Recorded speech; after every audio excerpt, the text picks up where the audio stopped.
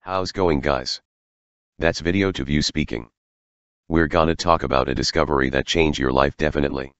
Some non-medical press has reported that it's been discovered a new fantastic organ. A completely new organ has been discovered. Eh? Seriously?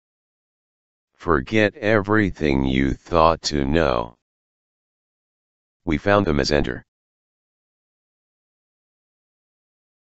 No it isn't a joke, we have ever known what is a mesentery but many non-medical journalists have been labeled this news as incredible, because they never heard this term before. For the many people who don't know what is that, I'll show you really briefly.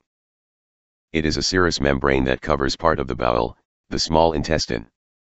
It permits the passage of a large amount of vessels, known as mesenteric arteries and veins, that can mediante exchange of oxygen and metabolites through abdominal organs. So what is changed? It changes that today we can identify that as organ and no more as a membrane.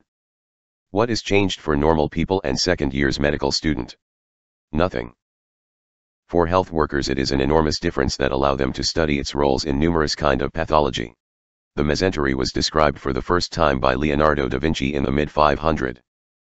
The actually scientific description of mesentery is credited to Treves in 1885, none other than the private doctor of Queen Victoria and Edward VII. The mesentery has been studied by every single student of any medical school since 1895, and it has been asked at every single exam, god damn it. I'll going to leave the link for the real article. Pretty lies, look me in the face